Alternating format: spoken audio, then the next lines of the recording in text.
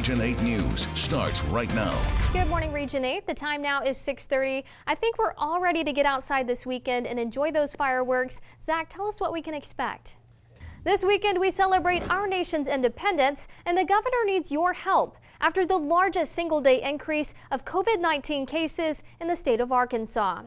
It was announced yesterday that 878 new active cases were reported. Less than 150 of those came from correctional facilities, and this was almost double the 420 case increase from Wednesday. Currently in the state, there are over 6,000 active cases. 279 people have died. However, 15,600 have recovered. Right now, 272 people are hospitalized with COVID-19. 143 patients are in the ICU and 71 are on ventilators.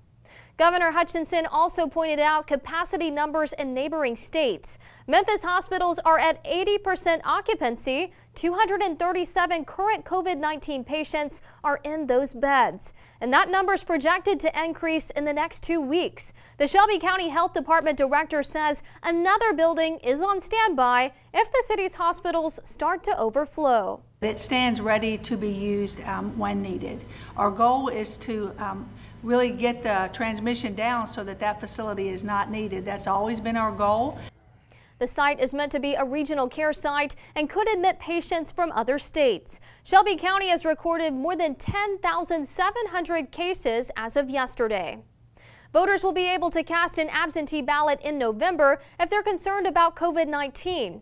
Governor Hutchinson said he agreed with Secretary of State John Thurston's interpretation of the law, saying COVID-19 concerns allow for some to vote with an absentee ballot. Both the Democratic and Republican Party chairmen agreed with the ruling. To get an absentee ballot, you can call your county clerk's office or go to the Secretary of State's website and download an application. The Secretary of State expects 100 to 150,000 absentee ballots this year.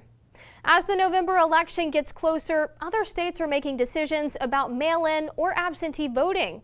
The U.S. Supreme Court ruled certain requirements in Alabama, like requiring a copy of an ID and witness signatures, are still allowed for the July 14th runoff elections. A lower court recently blocked these requirements amid the coronavirus pandemic. Alabama's Attorney General argues the absentee voting requirements prevent fraud. Now to COVID-19 in Missouri. Total cases have nearly reached 22,300 with 1,022 deaths.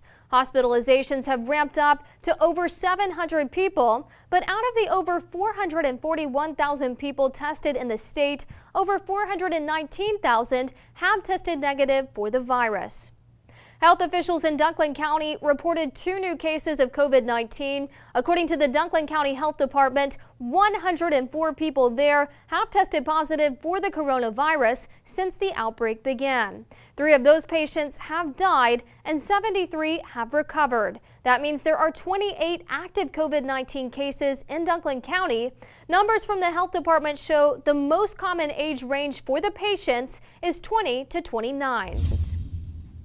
Greene County residents, listen up. You'll get to celebrate Independence Day with a big bang. More Media will host its 2020 Paragould Fireworks Show at the Paragould Rotary Softball Park. Kade had set it up where he's the only one getting the bank statement. He's the only one that has access to the account. He's the only one writing checks on it. You know, no checks and balances at all. You just heard from Craighead County Judge Marvin Day on the arrest of former Craighead County Clerk Kade Holliday. Holliday is accused of embezzling over a million dollars in county funds, leading to the county civil lawsuit against the former clerk. The alleged embezzling happened between January 23rd and lasted until June 25th. Now, after eight years of serving in that position, Holliday is now facing multiple theft charges and abuse of office. Judge Day believes Holliday tried to cover his tracks through legislative audits. You know, understanding how legislative audit works, um, you know, you look at it, he purposely started in January because it knows that that won't get audited till this time next year.